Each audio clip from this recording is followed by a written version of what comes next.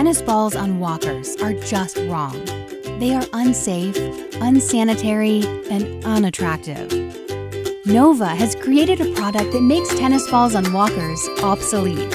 Walker skis are small, gray rubber pieces that look like very short skis and fit on the legs of most walkers.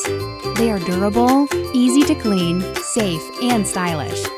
Most importantly, unlike tennis balls, they are made specifically for walkers and glide well over most surfaces and small bumps like door jambs.